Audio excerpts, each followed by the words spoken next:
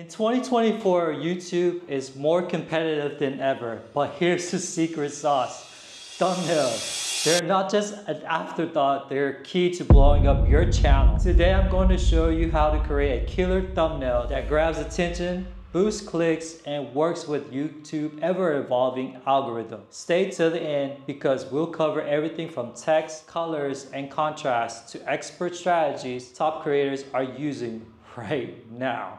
So why do thumbnails matter? Well, 90% of top performing videos on YouTube use custom thumbnails. Why?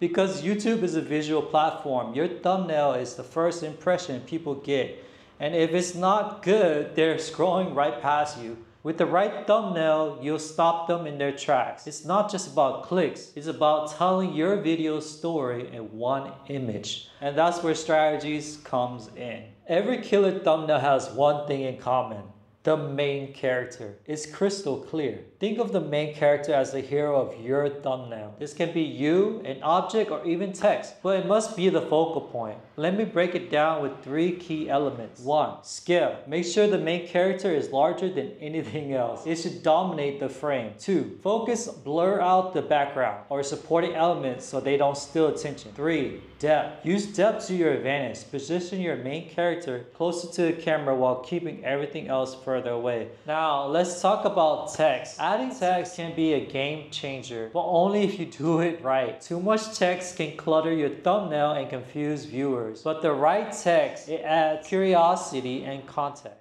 Tips for using text effectively. 1. Keep it short. Stick to 5 words or less. Don't overwhelm the viewer. 2. Add value. Text should be additive, not repetitive. Don't restate your title. Instead, add something new. 3 legitimately. Use large bold fonts, sans serif fonts with outlines and shadows work best to make sure your text is easy to read on any device. If you look at Mr. Beast's thumbnails, you'll notice that the text is big, bold, and easy to read. It often just a number of phrases like 10,000 challenge, but it's enough to add context and build curiosity. If your thumbnail doesn't pop, it's not going to get clicks. And the key to making a thumbnail pop is contrast. In 2024, this is more important than ever because viewers are bombarded with bright, busy images. So you need to stand out by mastering luminosity, saturation, saturation, and hues contrast. Let's break it down. One, luminosity contrast. Mix dark and light elements. For example, if your background is dark, make sure your main character is lit up or highlighted. Two, saturation contrast. Keep your main character in full color while muting everything else. Three, hue contrast. Use complementary colors. Mr. Beast often uses blue and oranges together because they're opposite on the color wheel, making each element stand out. YouTube is flooded with similar content, so sometimes the best way to stand out is by being different. If your niche is full of maximalist thumbnails, try something minimalist. If everyone's using red, try blue or green. Sometimes less is more. Before we dive into the next section, if you're finding value in this video so far, don't forget to like, share, and subscribe to the channel. It really helps with the algorithm and you'll get more tips like this to grow your YouTube channel in 2024. Okay, you made your killer thumbnail, but how do you know if it's really good? The best YouTubers run through thumbnails through three critical tests. One, the clarity test. Can you still make out your thumbnail details when it's tiny in the suggested panel, use tools like ClickPilot to simulate how it'll look on YouTube. 2. The contrast test. Compare your thumbnail against similar ones in your niche. Does your pop out in the lineup if it blends in? Go back and adjust the contrast. 3. The glance test. Show your thumbnail to someone for just 2 seconds. Can they immediately tell what your video is about? If not, simplify it. Once your thumbnail passes all three tests, you've got something special. But here's the kicker. The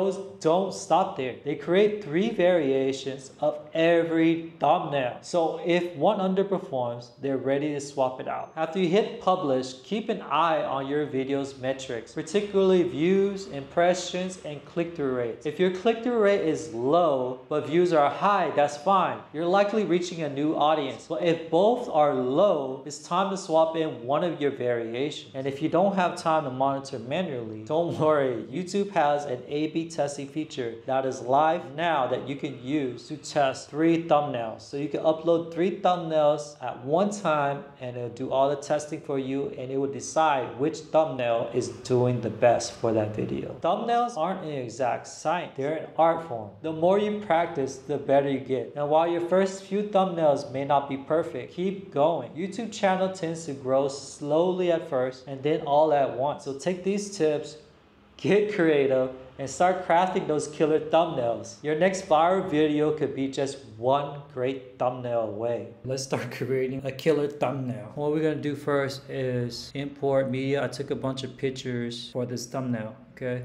And then here it is. What I'm saying is when you make a thumbnail, you gotta figure out what image you want to use. This is too dark, better lighting. All right, I found the clip that I want to use. I need to extend the top part of the picture, how it is here, to make the ratio look the same. So I copy the image, put this image on top, and we go to inspector. We want to lower the Y position. See?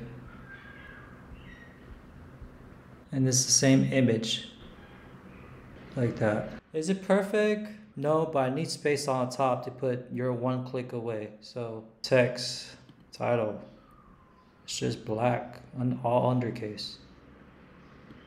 So boom. Gonna do this real quick. Let's try Futura. Yeah, let's use that. It's a little bit.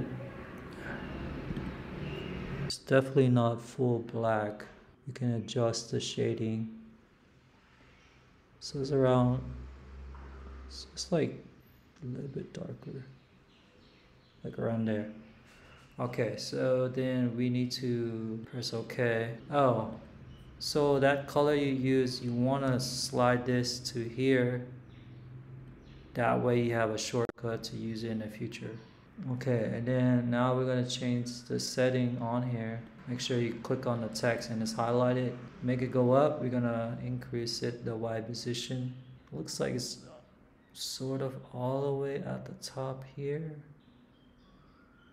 And then the text a little bit smaller so we can add the check mark. Okay, it's not perfect guys, but I'm just trying to knock this out quick. Now we gotta get some pink cards. How would I do that? real quick. Pixabay.com, just type in the search check and click here, download. Uh, I just need the small one, so just download. Go file, import media, download, and there it is right there. We're going to add the check mark. So the check mark is here on top. There's a few things we can do we gotta make it smaller so you zoom out the X like this. So you want to scroll to the right position and then you want to go up. You're moving the Y position to the right. Just a tad bit bigger than the font so we gotta make this smaller. And then make it more to the left, closer to the font. Now we have center both, so we gotta move the font a little bit more to the left, which is position. The check mark and the font have to be positioned in the center. So the spacing from the left of your and the spacing on the right has to be the same. And it looks like the check mark is actually above the Y. So we gotta make it smaller a little bit, like that. Perfect. And that looks okay. I gotta move the font a little bit to the right. And move the check mark a little bit to the left. There you have it. You're one click away. I found this generator and it's called Cosmic Speed Line. Use that as thumbnail with the mouse clicking on it. Make it small so we zoom. Then we're gonna put it in the position.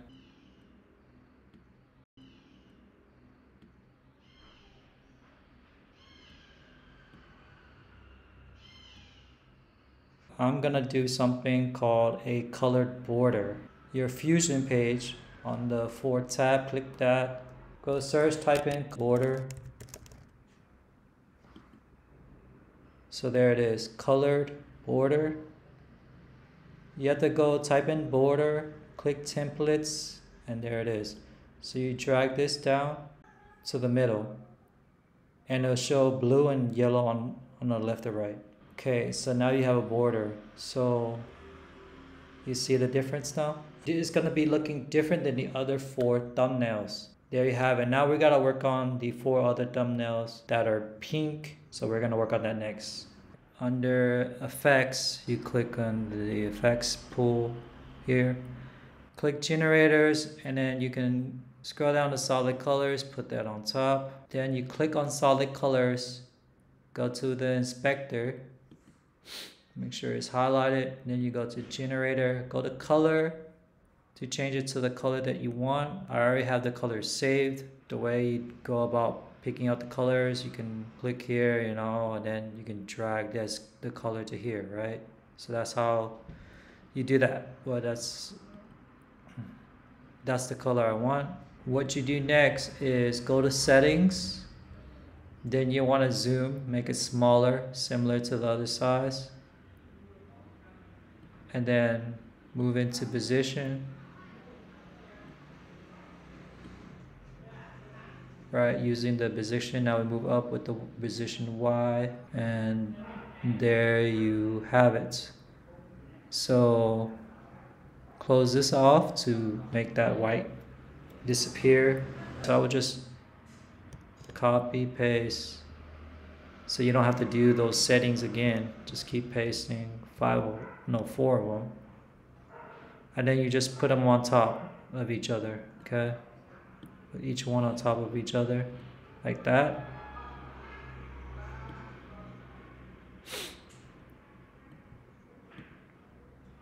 Do it slowly, okay? There you go. For the element for the hand mouse click. So I went to pixabay.com again, typed in hand click, search, and this what will pop up.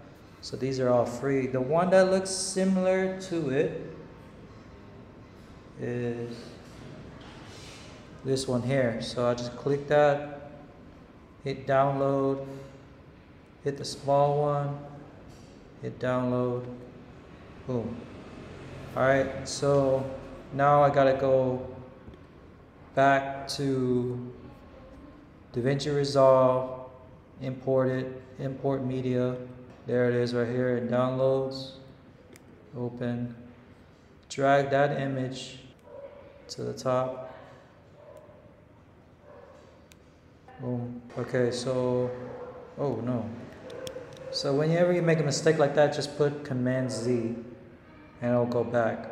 Alright, so we need click here on the hand, make it smaller by using the zoom X. Okay, so we need to move this, click screen to the left, and then move that mouse one, which should be this one, video six yeah, it's video six. Click the hand and then move it to the left. Position X, move it to the left. Perfect. We're gonna need to make it smaller and then make it go higher by changing the Y position. And looks like the thumb is touching the bottom of the image.